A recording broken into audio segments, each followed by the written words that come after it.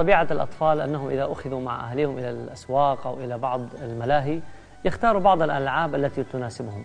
وقد لا نستغرب أن يكون الطفل الصغير يحب مثلا كرة ملونة حتى لو كانت بأقل الأثمان. هذا الشيء الذي يعجب به. لكن أن نجد مثلا إنسان كبير جدا وعنده من درجات العقل والوعي يعجب بأشياء للأطفال لا تناسبه أو أن هذا الطفل الصغير يمكن أن يعجب بأشياء كبيرة لا يستوعبها ولا يفهمها. هذا الأمر الذي لا يمكن أن يدخل في عقل الإنسان. الفتاة كذلك هناك أشياء تعجب بها هي من الغرابة بمكان. يعني ليست من طبيعة الفتاة أنها مثلا تعجب بفتاة إلى درجة الوله ودرجة السؤال المتكرر وأحيانا تتصل عليها أكثر من اتصال الزوج على زوجته.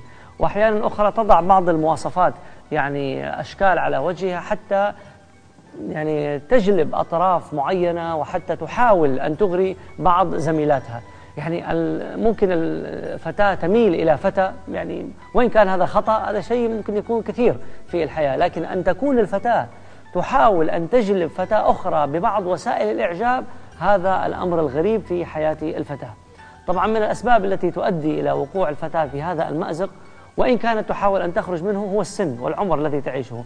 يعني هذه الفتاة تمر بمتقلبات في الحياة ببعض التغيرات فتظن أنه في السن الذي تعيش فيه يمكن من خلاله أن تعبر عن مشاعرها وعن أحاسيسها ولو كان هناك طرف من الأطراف يجلبها بالكلمات وبالأحاسيس وبالمشاعر أو بما لا تجده في البيت يمكن أن تتجه إليه مباشرة. فأحيانا مرحلة السن هي مرحلة خطأ ولذلك لما تكبر البنت وتعيش مرحلة أحسن وأفضل تكتشف أن الحالة اللي كانت فيها خطأ. ما كانت تأكل ما كانت تشرب اتصالات كثيرة جدا محاولة للسؤال عن كل صغيرة وكبيرة تدرك من خلال الحياة التي عاشتها أنها كانت في واقع خطأ. إذا السن لا يمكن أن يتجاوزه الإنسان إلا إذا تمت توعيته بالطريقة الصحيحة. من العوامل كذلك أنها لا تعيش حياة النجاح. دائما الفتيات المعجبات بشابات أمثالهن هن فتيات لا يعشن النجاح. بمعنى أنها ما عندها مشروع تنجح فيه ما عندها شيء مستوى دراسي راقي تفكر فيه ما عندها أمل آه تأمل فيه. عندها شيء ناجح تحاول أن تصل إليه هذه الفتاة التي تعجب بالقدرات وبالطاقات. أما الفتاة التي لا تفكر إلا بحركة البنت وبلباس البنت وبشكل البنت وبنظراتها وتغيرات يعني حتى حركة شفتيها هذه بنت يعني لا تعيش أي مرحلة من مراحل النجاح. من الأسباب كذلك أن البيئة التي تعيش فيها هذه البنت هي بيئة بعيدة عن أجواء العمل والإنتاج والجهد.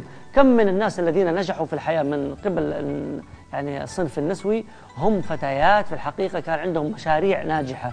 فتيات البيئة كلها التي تحيط بهم آه، نحو الإنتاج والجد أما مسكينة هذه الفتاة يعني لا بيئة ناجحة لا عندها مشروع ورسالة ورؤية واضحة. وفي نفس الوقت يعني مشغولة في سن تافهة وفي سن صغيرة هذه التي يمكن أن تشغل عمرها بما لا ينفع. الفتاة الناجحة البنت اللي تستطيع أن تنجح في مسيرة تفكيرها ومسيرة نفسيتها هي التي تؤمن بما وهبها الله سبحانه وتعالى من قدرات. ولذلك النصيحة الغالية هي التي تقول ارضى بما فيك لأن ما فيك قل من يعرفه فيك.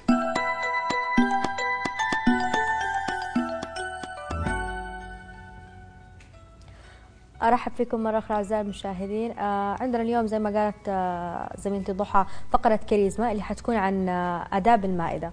فنطلع نشوف الكاريزما ونرجع.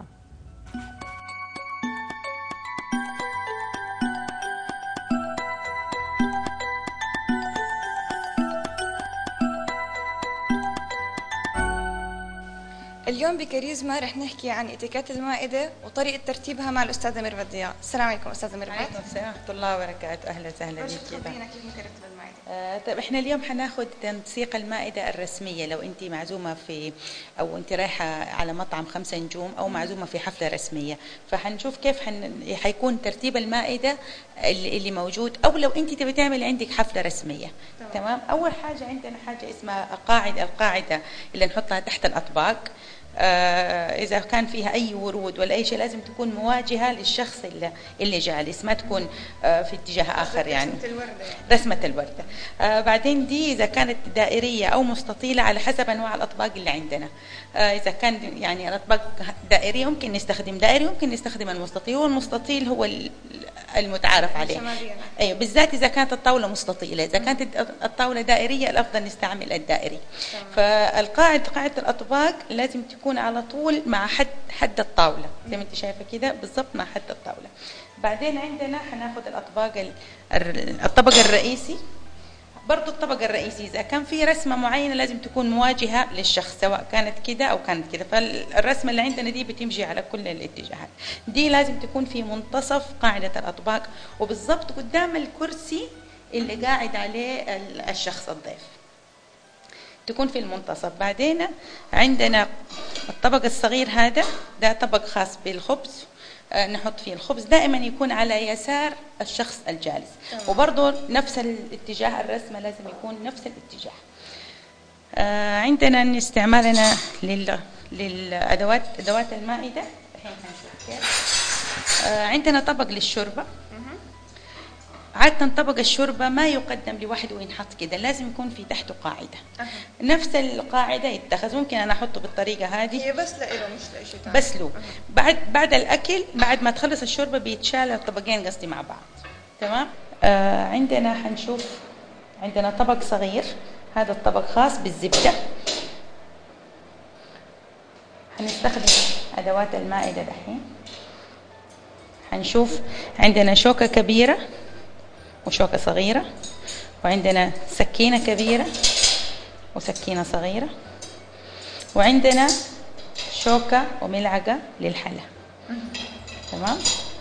دائما إحنا الشوكة بتنحط في اليمين والسكي... الشوكة في اليسار والسكينة في اليمين. آه الوجبة المكونة عندي أنا عندي خمسة أشياء في الوجبة.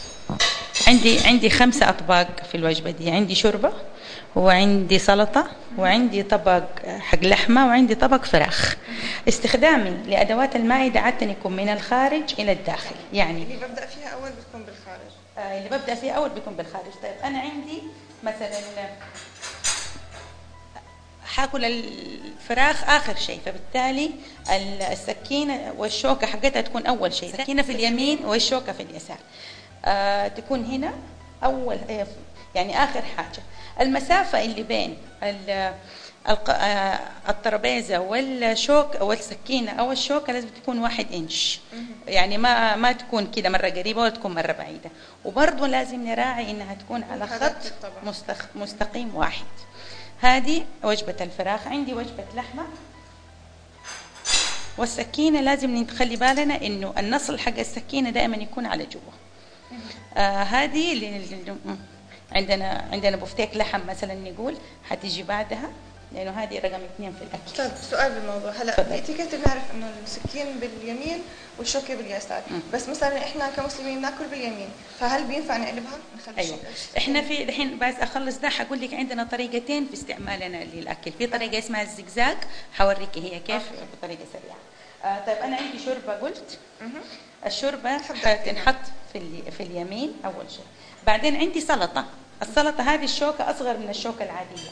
دي شوكة آه. كبيرة ودي شوكة صغيرة. فبالتالي حتكون هنا. طيب عندي سكينة أصغر من السكينة العادية دي. في فرق في المسافة. دي السكينة خاصة بالزبدة. تنحط عادة على الطبق- الصغير. عندنا ملعقة وشوكة صغيرة حقت طيب آه، أعزائي المشاهدين وصلنا لنهاية حلقتنا لهذا اليوم فإن شاء الله تكونوا آه، استمتعتوا واستفدتوا كمان بموضوعنا لليوم. آه، بس عندي خبر قبل ما ننتهي. آه، الحلقة الجاية إن شاء الله الأسبوع القادم آه، حيكون في آه، حيكون حيكون إعلان أسماء الفائزين في مسابقة آه، لبسني الخاتم اللي نظمتها الفرق الشبابية التابعة لمنظمة فور شباب. علما بأنه استقبال ال- ال- الإجابات لا زال مفتوح إلى الآن فإن شاء الله موعدنا إن شاء الله الأسبوع الجاي. مع السلامة. على طار الفرح نحكي حكاية حفلنا الليلة حكاية عن طموح كبير في رؤيتنا تفاصيله. على طار الفرح نحكي حكاية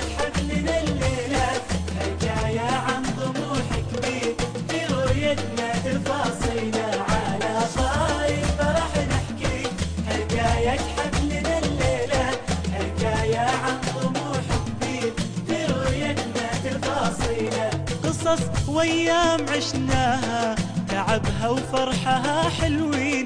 نعيش اليوم ذكراها سنين وكأنها يومين قصص وأيام عشناها. تعبها وفرحها حلوين. نعيش اليوم ذكراها سنين وكأنها يومين. على طار.